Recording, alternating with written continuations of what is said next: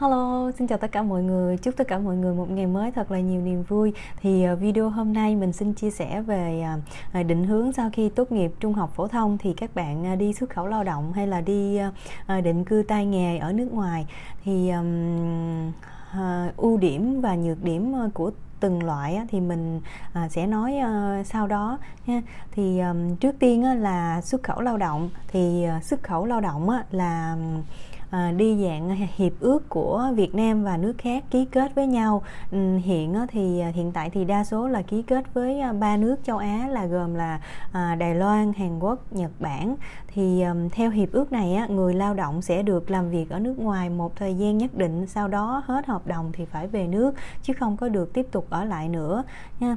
Thì uh, ưu điểm của loại ờ, visa xuất khẩu lao động này á, là uh, khi mà người Việt Nam học xong uh, trung học phổ thông thì có thể đi um, uh, và người lao động chi trả chi phí cho công ty môi giới thì um, hơi tốn kém một chút xíu. Thì nhưng mà thời thời gian á, thì làm hồ sơ rất là nhanh.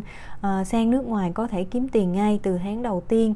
Ờ, nếu mà các bạn may mắn ra nước ngoài gặp được những công ty tốt á, thì có thể là được tăng ca nhiều dẫn đến là thu nhập cũng cao. Rồi mình có được uh, tiền dư nhiều hơn để gửi về Việt Nam ha còn nhược điểm của loại visa xuất khẩu lao động này á, là ngành nghề thì ờ, rất là hạn hẹp. Rồi ờ, chủ yếu là lao động chân tay ở công xưởng. Thì ờ, hết hạn hợp đồng á, sẽ phải về nước theo hiệp định chứ không có thể ở lại Nhật hoặc là ở lại nước khác để làm việc tiếp tục nữa.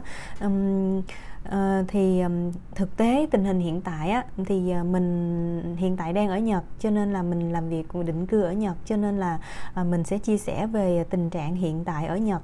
Là tình hình thì vật giá vừa mới tăng tăng rất là nhiều có những món đồ thì tăng lên tới 20 30 phần trăm lận. À, rồi à, tiền thuế cũng tăng nữa tiền bảo hiểm tất cả các loại tiền ừ, chi phí sinh hoạt đều tăng hết. Thì ờ, các bạn chỉ ờ, sống ờ, nhờ vào tiền dư nhiều là do là tăng ca. Chứ nếu mà ít tăng ít tăng ca thì có thể rất là dư ít nha. Thì mặt khác đó là do tiền yên ở Nhật thì tụt giá. Vì vậy nên người lao động Việt Nam mình sẽ bất lợi rất là nhiều. Thì à, nhưng theo dự tính của chuyên gia trong vài năm tới đây tình hình kinh tế Nhật thì cũng không có mấy khả quan cho lắm.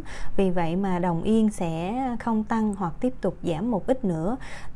Cho dù có sự can thiệp của ngân hàng trung ương nhưng mà vẫn không có thay đổi gì. Cho nên là nếu mà các bạn hiện tại đang dự định đi Nhật thì nếu mà các bạn uh, chỉ muốn đi Nhật thôi á, thì nên đi Nhật. Còn nếu các bạn có một cái lựa chọn nào khác mà tốt hơn đi Nhật á, thì các bạn cũng nên suy nghĩ um, uh, cân nhắc nhé đó thì uh, lương trung trung bình á, nếu mà không tăng ca uh, về tay và dư á, khoảng 8 đến 10 man uh, sau khi trừ các loại uh, tiền thuế nè tiền bảo hiểm tiền chi phí sinh hoạt cá nhân á, thì còn khoảng 8 đến 10 man nếu mà không tăng ca. Nếu có tăng ca thì có thể là thêm một chút xíu nữa tùy theo mức độ nhé đó thì uh, bây giờ tỷ giá hiện tại á, thì từ 8 đến 10 man thì đổi ra là tầm khoảng 15 đến 10 14 triệu mấy đến 18 uh, 18 triệu đồng tiền Việt ha.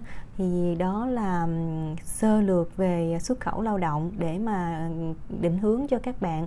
Thì các bạn ờ, nếu mà có câu hỏi gì thì cứ nhắn tin ở Nhật thì mình biết thì mình sẽ trả lời cho các bạn nhé. Còn ở nước ngoài như những nước Đài Loan hay là Hàn Quốc hay là Úc gì đó thì mình ờ, không rõ lắm ha. Nên là các bạn có thể tự tìm hiểu về thông tin đó ha rồi cái loại thứ hai là loại định cư tay nghề, thì là định cư lâu dài á thì định cư lâu dài thì đòi hỏi là phải có trình độ học vấn mà vào một số kỹ năng nhất định. Ờ, thì người lao động ờ, phải tốt nghiệp ít nhất là cao đẳng trở lên. Ờ, hơn nữa là người lao động phải thông thạo ngôn ngữ của quốc gia muốn đến. Vì vậy mà các bạn sau khi tốt nghiệp các bạn phải học tiếp đại học hoặc cao đẳng ở Việt Nam thì ít nhất cũng ba bốn năm ha. Còn uh, sau khi tốt nghiệp ở Việt Nam á, mà các bạn uh, tốt nghiệp trung học phổ thông rồi á, các bạn không có uh, học cao đẳng hoặc đại học thì các bạn phải đi du học ở nước ngoài uh, cũng mất khoảng 4 năm. Uh, thì chi phí cũng rất là tốn kém. Thì hiện tại định cư tay nghề thì chỉ có hai cái con đường đó thôi ha. Uh, thì uh, mình nói thêm là à, sau khi các bạn ờ, chọn con đường mà học đại học hoặc cao đẳng ở Việt Nam á, thì các bạn tốt nghiệp rồi thì các bạn phải tìm à, công ty môi giới và trả chi phí để họ giới thiệu hồ sơ à, và bảo lãnh giấy tờ cho các bạn à, à, sang nước mà các bạn muốn đến ha. Thì uh, ưu điểm á, là ngành nghề thì rất là đa dạng, có thể chuyển việc tự do, được hưởng chế độ và phúc lợi xã hội tốt. Rồi các bạn có thể định cư lâu dài, có thể xin thường trú hay gọi là vĩnh trú ở Nhật nếu các bạn đáp ứng đủ điều kiện. Và các bạn còn có thể là bảo lãnh gia đình, rồi ờ, ờ, người người bảo lãnh gia đình, tức là vợ chồng, con cái gì đó để sang sống cùng luôn ha. Đó, thì ờ, cái này là ưu điểm còn ờ, nhược điểm thì ờ, như hồi nãy mình nói là ờ, thì phải mất thời gian rất là nhiều và phải mất gọi là mất chi phí môi giới rồi tốn tiền nhiều hơn nữa. Nên là bạn nào có đủ khả năng về kinh tế và có kiến thức thì các bạn đi dạng visa này ha. Đó. Rồi mình xin chia sẻ tiếp là những cái lưu ý. Lưu ý là những ngành nghề dễ tìm việc dành cho nam. Thì ờ, mấy bạn nam á, nếu mà chọn học ờ, cao đẳng hoặc đại học ở Việt Nam á, thì nên học những ngành nghề ờ, liên quan đến công nghiệp á, ví dụ như là máy móc hay là à, những loại mà kỹ kỹ sư rồi thợ gọi là thợ hàng thợ này thợ kia rồi đó những cái đứng những cái máy đó đó. Thì khi mà sang Nhật á, có rất là nhiều công việc và các bạn nếu mà mới vừa sang á, chưa có tiếng tốt á, thì vẫn có thể làm ở xưởng. Ít áp lực không có cần phải tiếp xúc với người Nhật nhiều. Các bạn chỉ cần đứng máy tiếp xúc với máy thôi. Rồi cũng có tăng ca và tiền lương tiền thưởng cũng nhiều nữa. Nên là các bạn nào mà à, chọn học đại học hoặc cao đẳng ở Việt Nam á, thì mình thấy là nên học cái ngành đó ha. Đó.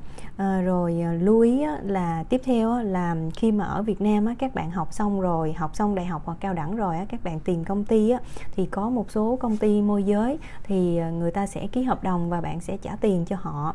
Um, tuy nhiên á, họ cũng phân vân á, là không biết là các bạn sang rồi có làm được việc hay không hay là sang rồi là nghỉ việc liền rồi nghe nói công ty khác có uh, lương hoặc là nghề uh, ok rồi các bạn đổi chuyển việc nhanh thì họ sẽ bị mất uy tín với cái công ty mà họ đã giới thiệu cho các bạn. Vì vậy mà những công ty môi giới á, người ta thường bắt các bạn ký hợp đồng tiền bồi thường. Um, nếu mà trong trường hợp này á, ờ, các bạn có gặp trường hợp này á, thì các bạn uh, có thắc mắc gì thì các bạn cứ hỏi và nói chuyện thảo luận rõ với người ta thảo luận rõ với công ty môi giới để mà tránh thiệt thòi cho bản thân mình về sau nhé. Thì ờ, video đến đây mình xin lỗi nói hơi lũng củng một chút xíu cho nên là các bạn nghe thông cảm nhé.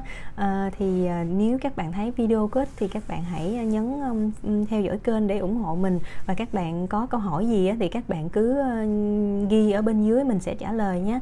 Cảm ơn tất cả các bạn rất nhiều. Xin chào và hẹn gặp lại. Bye bye.